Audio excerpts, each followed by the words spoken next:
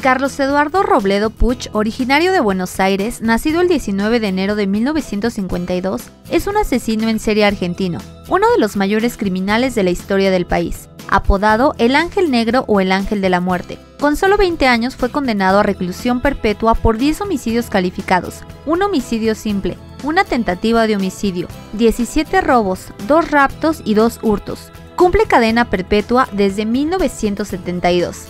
Bienvenidos a su canal Aprendamos Psicología. En esta ocasión daremos inicio a una nueva serie de videos donde hablaremos de los asesinos seriales más famosos de cada nación. En esta primera entrega corresponde el turno a Argentina.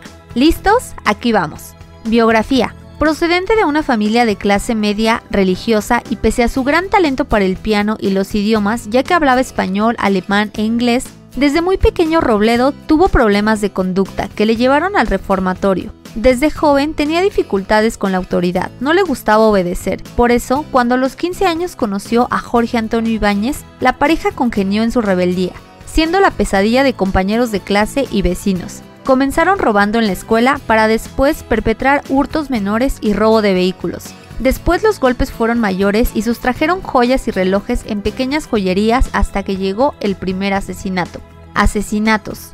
Era la madrugada del 3 de mayo de 1970 cuando Robledo e Ibáñez se colaron en la vivienda de una tienda de repuestos para coches donde dormía el dueño, su esposa y una de sus hijas. Sin mediar palabra, Robledo encañonó al hombre con su pistola y le pegó dos tiros. Murió en el acto. El sonido de las detonaciones despertó a la mujer que trató de huir sin mucho éxito. El 15 de mayo, los adolescentes cometieron un segundo robo. Esta vez forzaron la ventana de un bar y se llevaron un importante botín, cerca de 30 mil euros. Todo podía haber acabado bien si no fuese porque Robledo abrió una puerta y descubrió a dos hombres durmiendo. De nuevo, el joven sacó su arma y les disparó hasta matarlos. Cuando los investigadores le preguntaron, una vez detenido, por qué los asesinó mientras dormían, Robledo respondió con sorna. ¿Qué querían? ¿Que los despertara? Detención y condena. Fue durante el robo a una ferretería el 3 de febrero de 1972 cuando Robledo decidió ejecutar a Somoza, su último cómplice conocido. Tras una fuerte discusión donde también mató al vigilante de seguridad, Robledo ejecutó a Somoza de un disparo certero en la cabeza.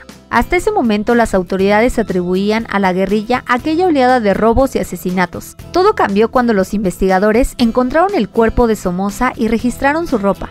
En uno de sus bolsillos tenía guardado su documento de identidad y por lo tanto pudieron saber quiénes eran sus amistades. Fue cuestión de horas que los agentes diesen con Robledo Puch. La policía se presentó en el domicilio familiar del asesino y tras realizarle varias preguntas optaron por detenerlo y trasladarlo para un posterior interrogatorio. Todo apunta a que emplearon la picana eléctrica, instrumento que descarga corrientes eléctricas en contacto con el cuerpo. Tras aquel suplicio, Robledo decidió relatar todos sus crímenes. Era el 5 de febrero de 1972. Había caído el peor asesino de la historia en Argentina. Así que cuando llegó el juicio, la expectación fue máxima. La sala 1 de la Cámara escuchó el testimonio de los forenses que examinaron al preso.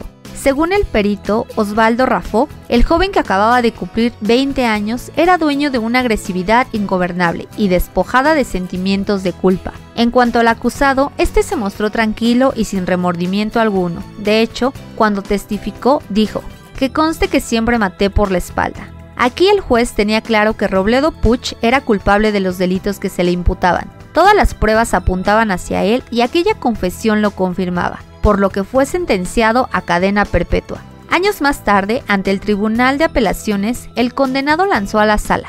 Esto fue un circo romano. Algún día voy a salir y los voy a matar a todos. Si les ha gustado la información, dale like y suscríbete al canal. Por el momento esto ha sido todo. Esperen el siguiente video. Hasta la próxima.